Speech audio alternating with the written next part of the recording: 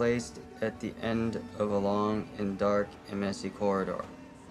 It required much more effort than he felt motivated to exert simply to locate. In fact, he felt increasingly unmotivated to exert any effort towards anything.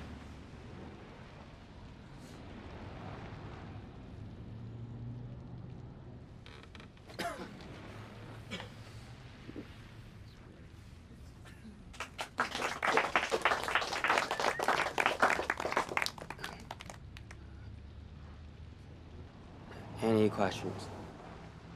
Uh, can you hear me? Yeah. Good. Do you even know how to grow mushrooms? Mushrooms? Yeah, in your book you take mushrooms. Do you know how to grow them, sir? Not really.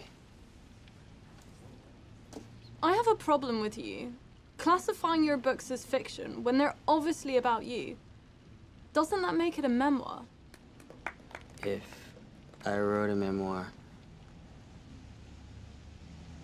I would call it my memoir.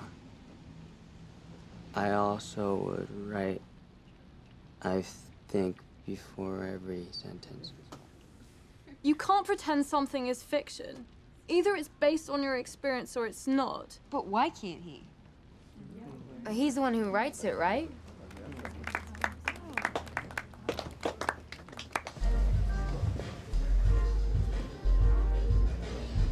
You saved me. I am forever in your debt. Have people at your readings always this weird? Yes.